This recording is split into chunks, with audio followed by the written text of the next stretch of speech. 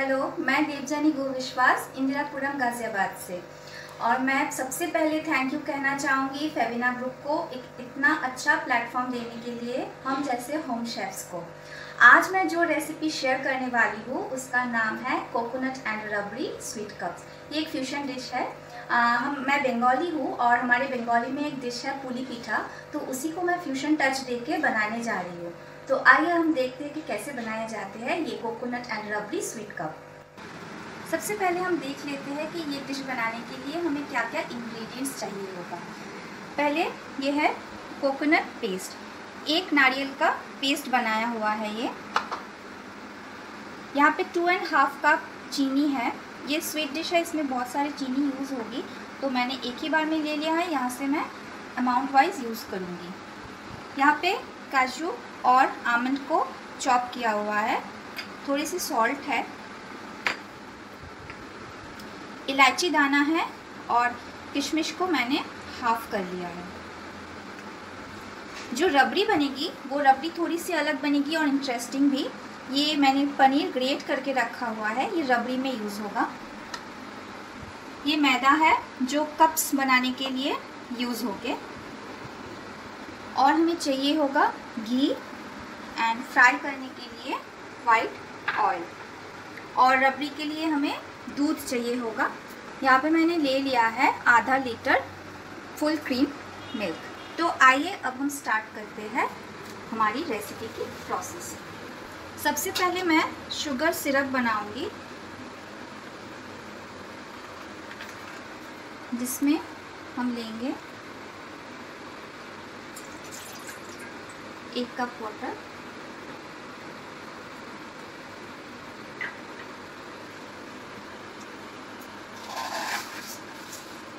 और एक कप चीनी। साथ ही साथ हम कोकोनट को भी प्रिपेयर कर लेंगे इसी टाइम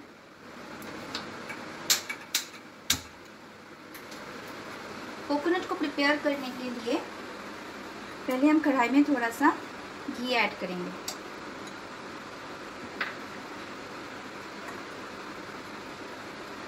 रबड़ी के लिए मैं दूध को भी बॉईल होने रख देती ये मीडियम फ्लेम पे बॉईल होगी।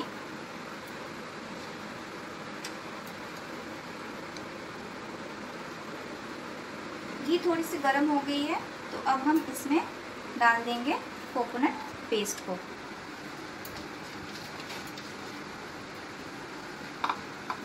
साथ ही डाल देंगे चीनी को भी। इसमें भी मैंने एक कप चीनी डाल दिया। अभी थोड़ा सा इलायची दाना यूज़ करेंगे। इलायची दाने को मैंने हाफ़ क्रश किया हुआ है।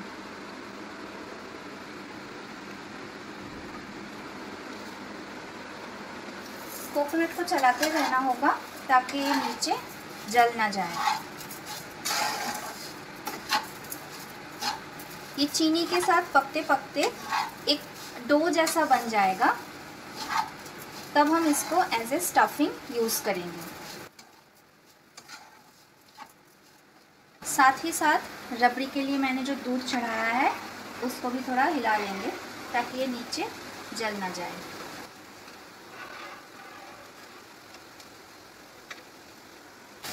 इसे चलाते ही रहना है। अब हमारे जो चाशनी बनाने के लिए रखा था, उसमें उबाल आ गई है तो मैं उसमें थोड़ी सी इलायची दाना दे रही हूँ। थोड़ा सा हिला देंगे। चाशनी को ध्यान रखना है। ये एक तार वाली चाशनी बननी चाहिए। ये धीरे धीरे बनता जा रहा है। कलर भी चेंज होने लगी है इसकी।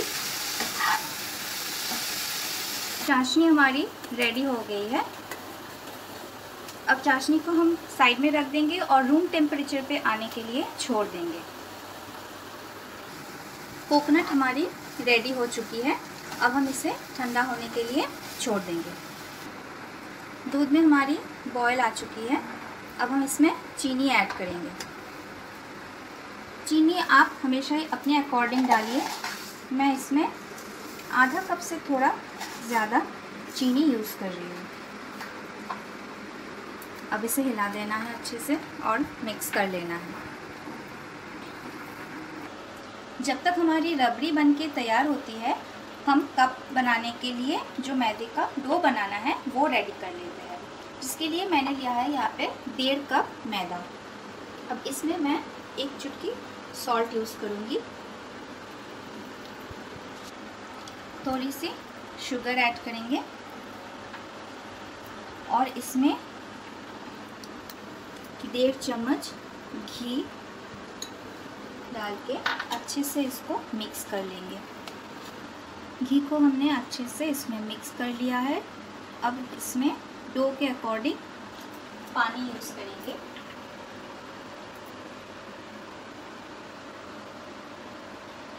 ये डो ज़्यादा नरम नहीं होगी। थोड़ा थोड़ा करके पानी डालना चाहिए। यहाँ पे देख लीजिए हमारी रबड़ी भी बनने लगी है अच्छे से और दूध भी थिक होने लगा है। मलाई भी जमने लगी है।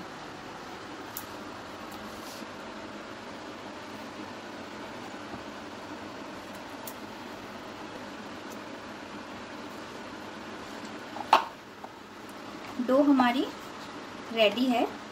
देख लीजिए, ये ज़्यादा सॉफ्ट भी नहीं है और ज़्यादा हार्ड भी नहीं है। हम इसको थोड़ी देर के लिए रेस्ट करने छोड़ देंगे। देखिए, रबड़ी हमारी बहुत थिक हो गई है। ये नॉर्मल रबड़ी जैसी लच्छेदार नहीं बनेगी। ये थिकन मिल्क हमें इसमें अब डालेंगे, जो हमने ग्रेट किया हुआ पनीर रखा था। उसको अब हम इसमें मिक्स करेंगे।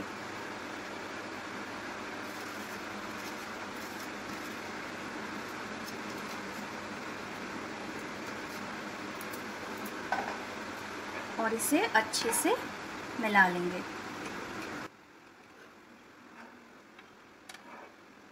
इसी टाइम पे थोड़ी सी ये जो कुटी हुई इलायची दाना हमने रखा था, इसको इसमें ऐड कर देंगे।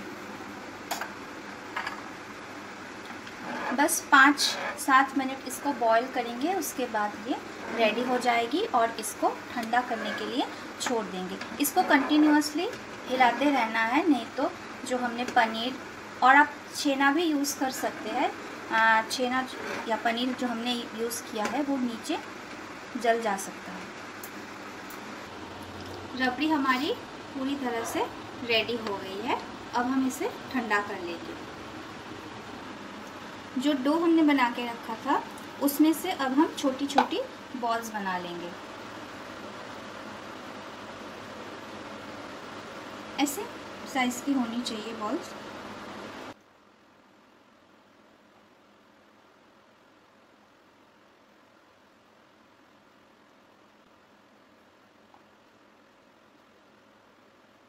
अब हम इसे एकदम परफेक्ट राउंड शेप देंगे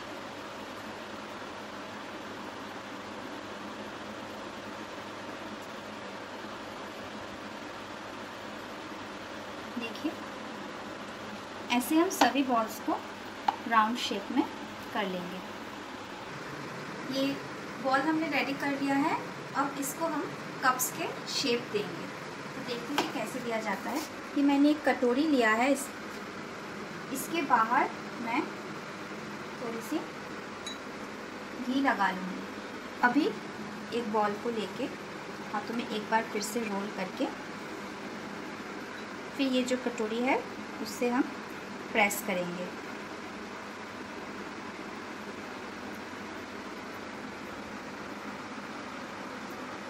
चाहे तो कोई रोलिंग पिन का भी इस्तेमाल कर सकते हैं, लेकिन मैं ये कटोरी का यूज़ कर रही हूँ।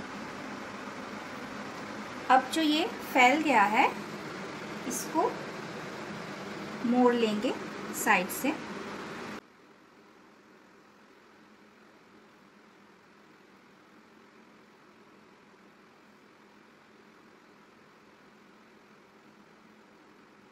नीचे थोड़ा प्रेस कर लेंगे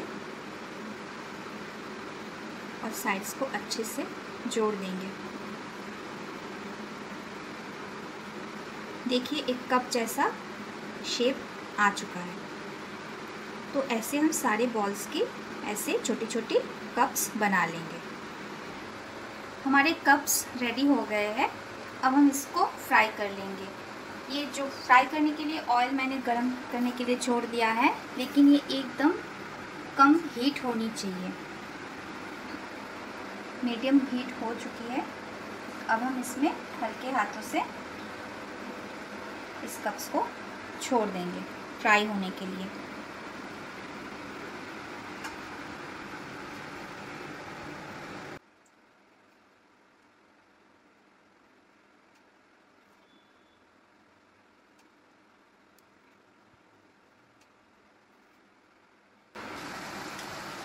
कप्स फ्राई हो चुके हैं एक साइड से। इसको थोड़ा पलट देंगे। दूसरी साइड भी फ्राई कर लेंगे अच्छे से। 80 परसेंट ये रेडी हो चुका है। बस दूसरी साइड फ्राई होना बाकी है तो ये कंप्लीट हो जाएगा। कप्स बिल्कुल रेडी हो चुके हैं। अब हम इसको उठा लेंगे। आवाज़ से ही आप लोगों को पता चल रहा है कि कितना क्रंची होगा। अभी जो ये कप्स है, इसको मैं चाशनी में डाल दूँगी।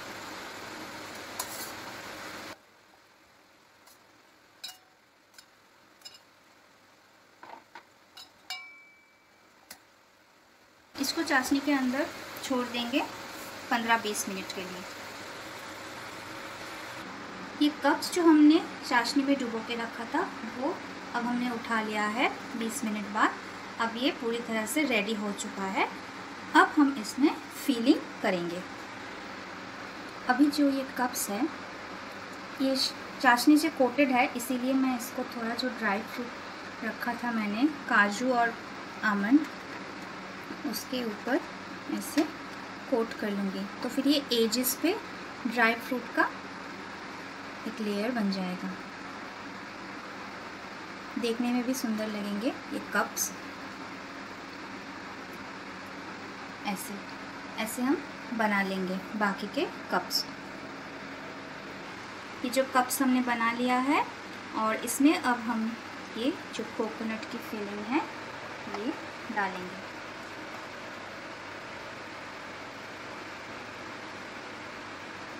ये खाने में बहुत ही टेस्टी होगा।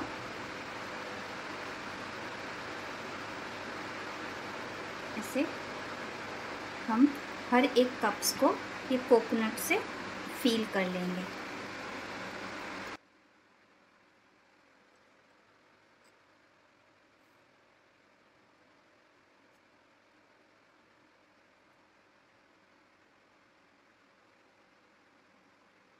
ऐसे बाकी सारों पे भी हम भर लेते हैं। कोकोनट स्टफिंग फील करने के बाद हम इसके ऊपर से रबड़ी डाल देंगे।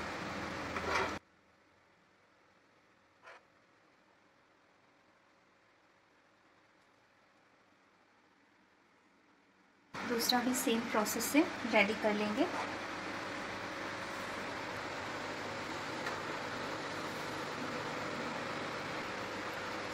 बस ये पूरी तरह से रेडी है। अब हम इसके ऊपर थोड़ी सी जो हमने हाफ़ कटेड किशमिश रखी थी, वो डाल देंगे डेकोरेशन के लिए।